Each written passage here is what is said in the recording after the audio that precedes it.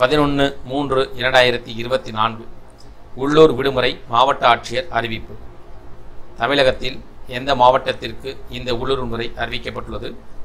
இந்த உள்ளூர் விடுமுறை யாருக்கெல்லாம் பொருந்தும் யாருக்கெல்லாம் இந்த உள்ளூர் விடுமுறை கிடையாது என்பதை பற்றி தெரிந்து கொள்ள வேண்டியது முக்கியம்.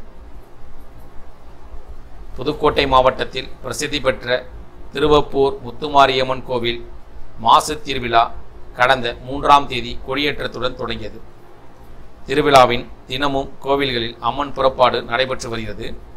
மேலும் அம்மனுக்கு சிறப்பு பூஜைகள் அபிஷேகம் நடைபெற்று வருவதோடு பக்தர்களும் தங்களது நேர்த்திக் கடனை செலுத்தி வருகின்றனர்.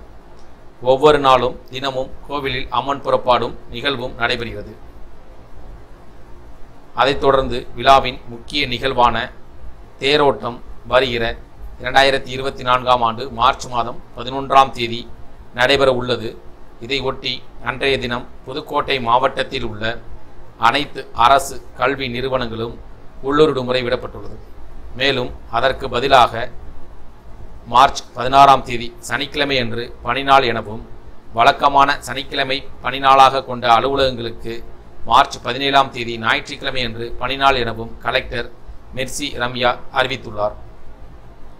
இந்த உள்ளூர் விடுமுறை ஆயிரத்தி எட்நூத்தி எண்பத்தி ஒன்றாம் ஆண்டு செலவாணி முறிச்சட்டத்தின் கீழான விடுமுறை நாள் அல்ல எனவும் இந்த உள்ளூர் விடுமுறை நாளன்று புதுக்கோட்டை மாவட்டத்தில் உள்ள மாவட்ட கருவூலம் மற்றும் சார்நிலை கருவூலங்களும் குறைந்தபட்ச அலுவலருடன் அரசின் பாதுகாப்பினை கருதியும் அவசர அலுவலர்கள் மேற்கொள்ளும் பொருட்டு திறந்திருக்கும்.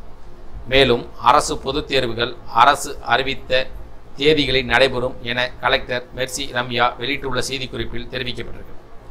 அரசு அலுவலகங்கள் பள்ளி கல்வி நிறுவனங்களுக்கு இந்த விடுமுறை அறிவிக்கப்பட்டாலும் பொதுத் தேர்வு தேதி அறிவிக்கப்பட்டிருந்தால் அவர்களுக்கு இந்த விடுமுறை கிடையாது.